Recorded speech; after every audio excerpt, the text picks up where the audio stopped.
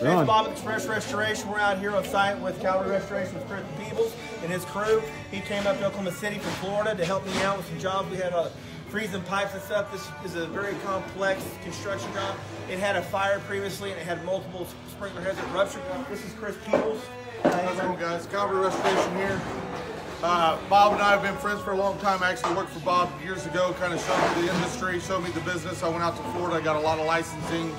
We followed each other. He's actually helped me out with some equipment stuff going out there. When all this came back and it hit our home base, there's a lot of work out here that not everybody could get to. So I've got a little bit of uh, leeway when it comes to crews and stuff and come out and was able to help some of the customers out for express restoration.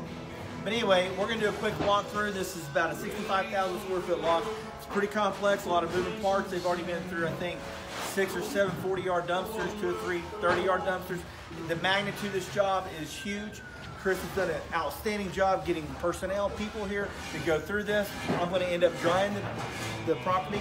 But uh, he's getting all the demo, treating, microban, and checking for uh, mold, checking for asbestos, lead, and all those different things you do on a project like that. He's very outstanding, very professional.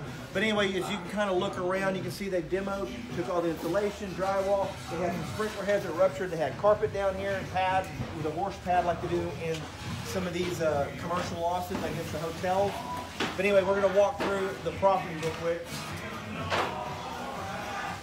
So you show this, this, this is all in the floor due to the fire. Most of this was in the floor because of the soot. We took out the walls. It's got some insulation board and whatnot. Now, right now, we're just cleaning everything up.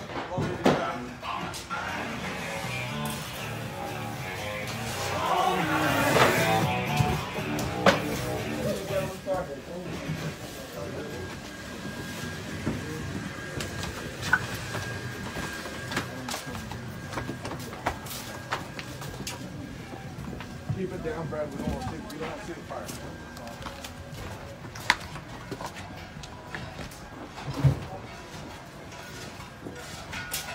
You can see it goes all the way down through here. Still on? Yeah. Okay. As you can see down there, it's the same thing. It had another sprinkler head. We're going to go downstairs, walk around, and go up under this. Basically, do flood cuts or total guts. Every job's a little different, so you piece through together. So uh, this is just one phase of many that they're going to go through, getting this prep to dry and do the rebuild. But anyway, we'll go downstairs real quick. Most of this is, uh, we moisture map all this before we come in and actually cut anything out.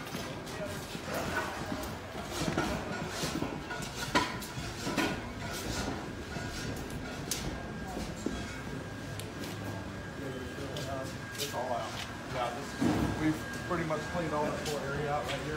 You can see- all this, can clear all this out. You see they took all the ceiling tiles, dropped it down, so you can kind of see the skeleton inside of the uh, trussets and the floor up there. Anyway, we put that into the bar area, used to be here years ago. They kind of came in and went and gutted everything you can see. Go around and look at everything. This area is really saturated. We had so much contents in this room, guys. There's a lot of stored um, Carpet. carpet pad and carpet and all sorts of other things that were in here that were just holding the moisture in. We this is a full gut, uh, bar none, because not only was the fire, there was also so much water that we had to get everything behind the wall. Anyway, this is Bob with Express Restoration. You reach me at area code 405-922-8891 for uh, water mitigation. If you have something at this scale, we have plenty of labor and plenty of other companies here that can assist us. You can reach Chris at 850-900-6500 CRC, water fire, water mold. Thank you, everybody. Everybody have a great day, and I hope you enjoyed the video.